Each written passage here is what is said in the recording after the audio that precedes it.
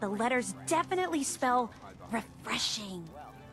It's simpler than I was expecting. Well, of course it's simple. The contest was meant for kids. Oh yeah, I forgot about that. I guess sometimes I take all of this Nuka-Cola stuff so seriously. This door should lead to Bradberton's office, but it's locked up tight. The keypad is the only way to open it. I guess we just need to key in the 10 numbers that correspond to the word refreshing. That's it! The door's unlocked! Let's go inside. Let's search carefully. I'm willing to bet this place has a few secrets, and they'll probably be well hidden. Hey, for all their talk, this gauntlet is full of more turrets and traps than actual raiders. I don't know if I should commend their ingenuity or condemn their cowardice.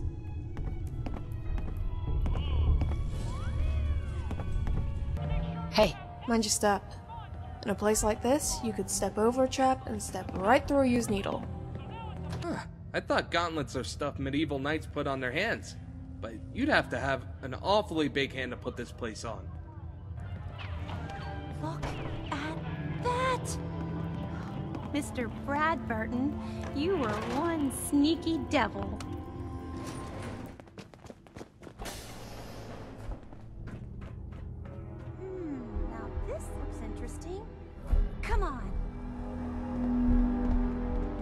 On earth? Wait. No. It can't be. That's John Caleb Bradberton! Or at least it's its head. Wow! Who... Who are you? I haven't seen a real human face in so long. I had given up all hope. Oh my god! It's alive! He's alive! My name's Sierra, sir. I'm your biggest admirer. I love Nuka-Cola more than anything. This is such an honor. You there, with the pit boy. What are you doing here? This whole thing is Sierra's idea. She came here to solve your hidden Cappy contest. The hidden Cappy contest. It all seems so long ago. Another lifetime. That was before I became this monster. Before I was trapped here for centuries to suffer in solitude. This was General Braxton's plan all along. Damn the man. He called it Project Cobalt. In exchange for my weapon design, he would give me access to life-extending technology. I'm such a fool for taking him at his word. He never told me that this would be the price. Eh, when something sounds too good to be true, it usually is. You don't think I know that? You don't think I contemplated my folly for decades on end? I do not need some interloper to remind me of my greatest tragedy. Um, a weapon? I don't believe it. Why would the genius who brought so much joy to the world want to make something destructive? Genius is restless, madam.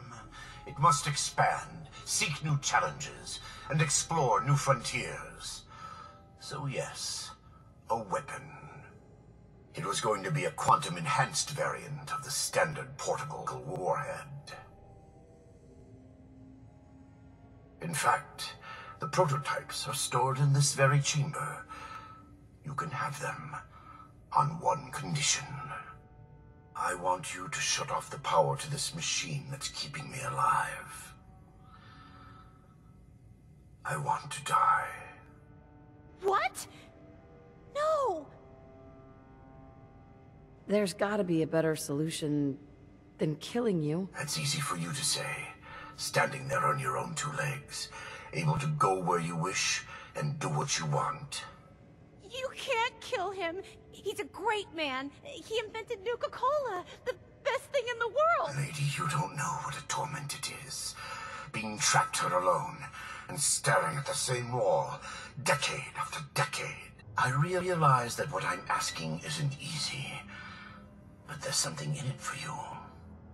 When the power is cut, The door to the prototype storage room will open automatically. Take anything you want. I don't care anymore. Just please, set me free at last. I can't bear this loneliness any longer. Wait, wait, wait, wait, wait. I I have an idea. Mr. Bradberton wants to die because he's lonely, right? Well, maybe I could stay with him, you know? Keep him company, give him someone to talk to. He's like a hero to me.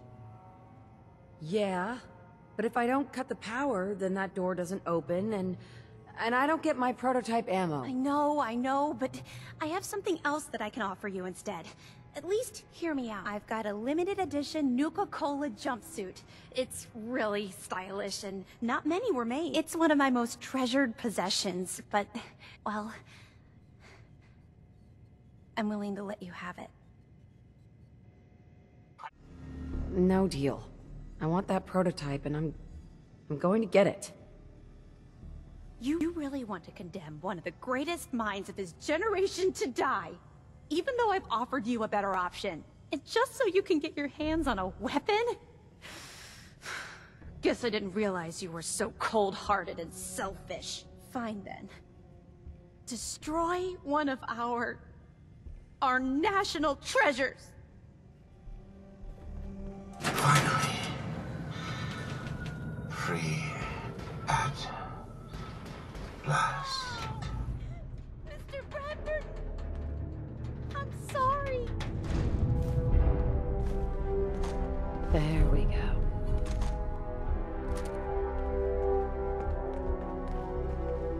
You wanted the Coca-Cola formula? Here it is. So it really was here. I'm grateful, but don't think this means I've forgiven you. You killed the man who was my hero. A man who revolutionized the soft drink industry, and whose creations put smiles on a million faces. Who the hell are you to just walk in here and destroy all that? He made a choice, and I respected that choice. You should too. I...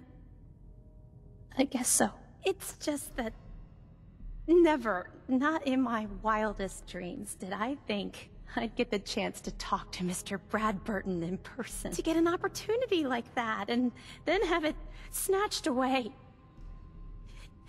It hit me pretty hard. Still, I can't overlook the fact that for one glorious shining moment, I got to meet the man who invented Nuka-Cola. I'll never forget that. Not ever. And it wouldn't have been possible without your... Thank you. If you really want to thank me, thank me with caps. A mercenary to the end, huh? I guess you've earned it here. I know it's not much, but you really went above and beyond the Call of Duty. I think I'll stick around here for a while and see what else I can find. By the time I'm done, I'm gonna need a much bigger building to house my Nuka-Cola museum. Your thoughts? It was kind of you to let Mr. Bradberton rest. Never mind not having a body. I can't imagine a fate worse than being stuck alone with Sierra. Sierra seems a little depressed. Meeting your heroes can do that. Killing them is even worse. Hey, I feel bad for Sierra, but you did what you had to do. Poor guy spent 200 years in that jar.